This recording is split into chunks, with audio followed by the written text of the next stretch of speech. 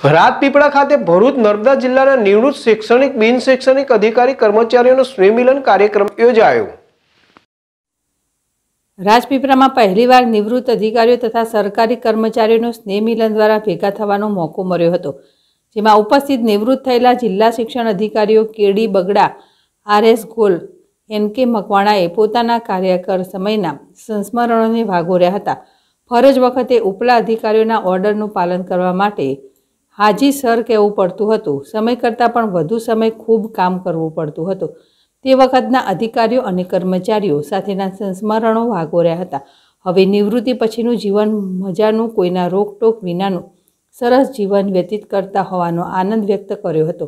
આ પ્રસંગે આ ત્રણેય નિવૃત્ત થયેલા જિલ્લા શિક્ષણ અધિકારીઓ K D Bagda R S Kol, M K મકવાણાનું સાલ ઉડાડી સન્માન પણ કરાયું હતું. તેમણે સન્માનના પ્રત્યુત્તરમાં તેમણે આયોજકોનો આભાર માની જૂના મિત્રો કર્મચારીઓને મરાનો આનંદ વ્યક્ત કર્યો હતો.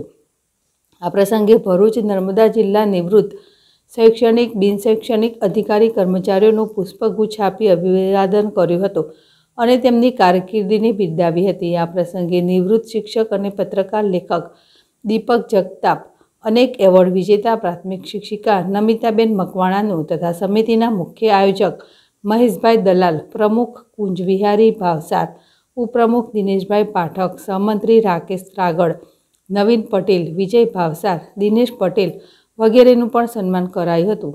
સમગ્ર કાર્યક્રમનું સફળ સંચાલન રાકેશભાઈ ત્રાગડેએ કર્યું હતું. દીપક જગતાપ, જેડેશ ટીવી, રાજપીપળા.